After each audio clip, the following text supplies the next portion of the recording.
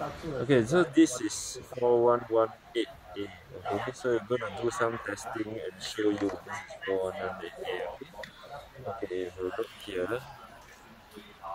Okay, if I'm going to use this, I'm going to do it in the opposite direction. Direction.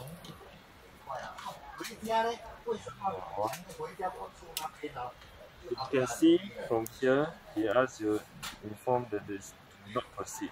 So it's not a correct wiring. So normally if like that you cannot proceed, you cannot press this. If you press it, it will spoil the equipment. So what you need to do is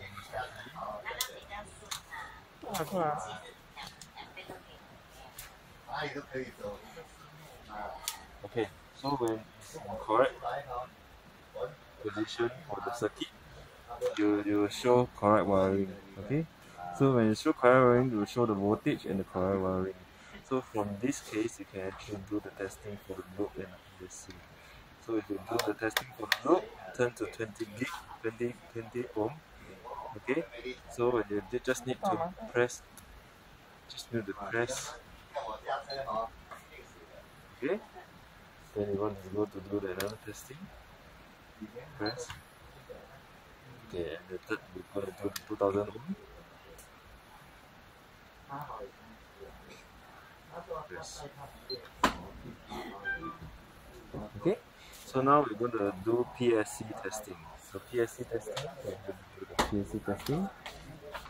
Okay, for PSC testing, okay, they have 33.1 M. So in this case, because we have the white one phase, uh, so this ampere is about around below 200 amps, so we should choose below 200 amps. Should not choose something which is higher.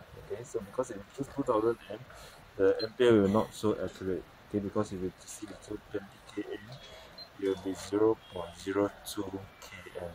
So what we'll choose, we'll choose PSC, which is one phase, we'll choose 200 amp and testing just press button. Okay, that's it.